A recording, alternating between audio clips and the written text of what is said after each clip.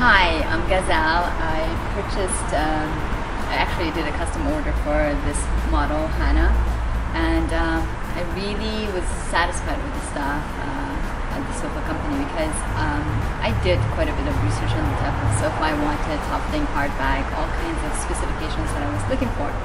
And they really helped me uh, come to a very nice conclusion of how everything's going to come together. So I really appreciate it. I feel very good walking out of here.